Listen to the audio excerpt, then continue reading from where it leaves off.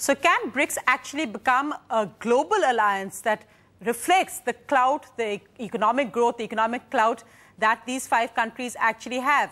Is it, as some Western analysts have put it, just a photo opportunity? For more on that, joining me tonight in the studio is Mr. Ashwini Kumar, Minister of State in the UPA government. Thank you very much for joining me tonight, sir. Also with me tonight is Mr. Ronen Sen, former ambassador to the United States and former ambassador to Russia. I'm also joined by Mr. G. Parthasarthi, former ambassador to Pakistan, and of course, Dr. C. Raja Mohan, strategic analyst at the Center for Policy Research.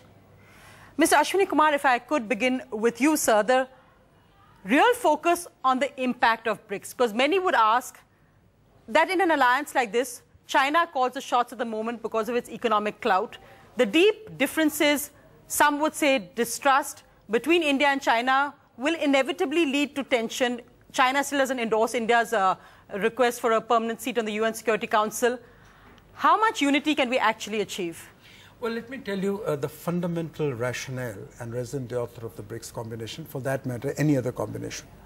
In relation between nations, particularly in a situation where you are in the process of reordering the world or reshaping the world, whether you call it a new international economic order or a post uh, economic crisis order. The fact is that there is realization amongst the BRICS countries, as indeed in the rest of the world, that the old institutions, which you call the Bretton Woods institutions, have outlived their utility, and therefore you need to do something new one of the most important factors that we now have to take into consideration is the reality of an interdependent, multipolar world where multilateral institutions will give the solutions. In that scenario, we all know that however powerful one nation may be, a, a, a combination of nations like BRICS, which represent 43% of the world's population, about $16 trillion uh, of GDP, global GDP, $4 trillion in global reserves, will have a much stronger negotiating position in shaping the world and the institutions of the new global order in a manner that would enable them to advance the causes of their people. And the challenges are common. Therefore, the need for this unity. Within that, there may be differences in focus, there may be priorities, and India will have its priorities, China will have its priorities.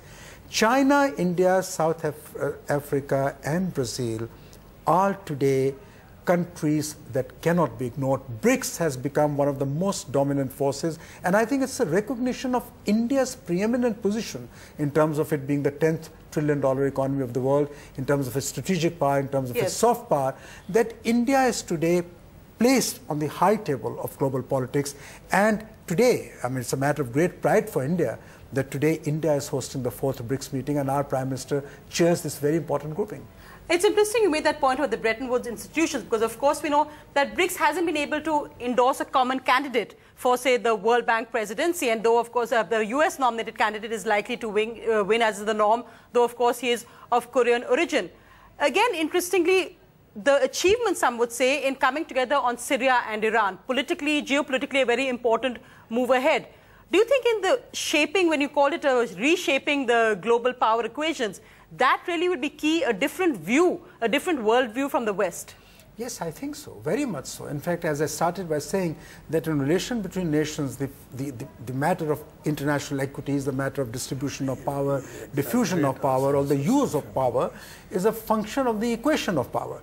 So one nation, howsoever strong, for example, what somebody may ask, two permanent members of the Security Council. Why do they have to have a separate grouping? They can veto anything as far as the shaping of the world order is concerned. Mm -hmm. But they do know that four or five countries together have a far more greater say uh, in convincing the others. And today, it is not also, in my view, at some stage it could be uh, a competitive relationship, but in, in many areas, the relationship is not competitive with the rest of the world. For example, today, post-global economic crisis and the Eurozone crisis, yes. it is recognized that the economic growth is in these four countries. Until these countries grow, you can't balance the, uh, the economic growth in Europe or in America. So I think Europe, America, the BRICS nations, the G20, the emerging economies are today, in certain senses, in a complementary, in a complementary relationship, and that is the burden of the New Delhi Declaration. They've talked of the common issues that they face in common, and they are seeking common responses. Uh, Dr. Raja Mohan, come in here. The, the government picture, uh, much more positive picture than you would see it, or would you also look at the positives that have come out of the Delhi Declaration and this meeting in New Delhi? I think some of this framing that this is, a, is it a new bloc countering the West? I mean, that I think is a completely red herring. I mean, if you actually read the declaration and our Prime Minister's speech or even Hu Jintao's speech, they're very careful not to make it a confrontation with the West. In fact, they repeatedly emphasize, look, we want the G20 is the main forum for economic and institutional reform. They talk about uh, helping Europe, that we need, everyone needs to grow together. Mm-hmm. So I, I don't think they've claimed, the leaders have not claimed the kind of motives that have been imputed by either Western analysts or those of us here who want to, you know, see it as an anti-Western bloc. So I think it is a cautious effort.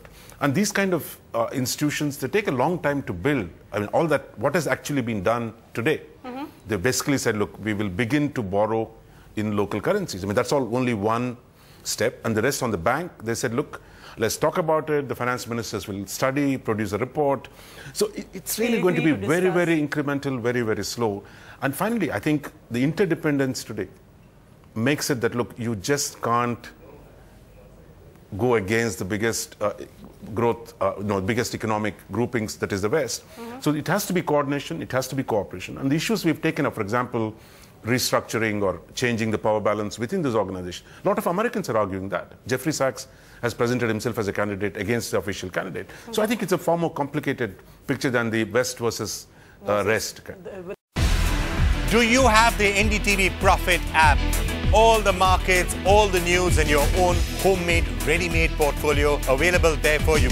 We will right now answer what you should sell, what you should buy when markets are down. Download at ndtvprofit.com slash apps. Get the best app for the channel you trust.